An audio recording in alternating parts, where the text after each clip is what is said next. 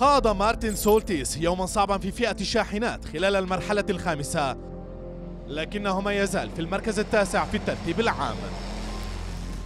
كان باسكال ديبار سائقا آخر افتقر للوتيرة على الرمال المخادعة ليتواجد في المركز الثامن. عاد يانوس فان كاستر من العثرات التي واجهها مبكرا في دكار ليحتل المركز السادس في الترتيب العام.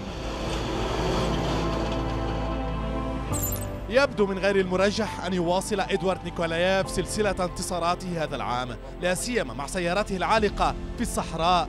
حتى الآن. تراجع أليش لوبرايس عن ركب الصدارة بفرق 23 دقيقة منها المرحلة في المركز الخامس ليتواجد في المركز الرابع ضمن الترتيب العام. ما يزال سيار هيفيازوفيتش يضغط بعد خسارته للصدارة حيث أكمل اليوم رابعا على نحو أبطأ بكثير من معسكر كماز. يحتفظ أندري كارجينوف بصدارته لفئة الشاحنات بفارق يناهز 15 دقيقة حيث أكمل مرحلة اليوم في المركز الثالث.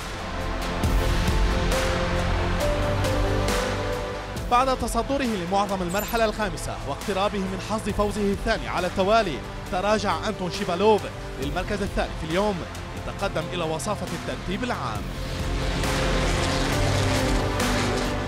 لمع نجم ديمتري سوتنيكوف اليوم حيث قطع المرحلة الخامسة في أربع ساعات و12 دقيقة. بفارق 20 دقيقة فقط عن فئة السيارات. ليكمل ثلاثية كاماز ويحتل المركز السابع في الترتيب العام.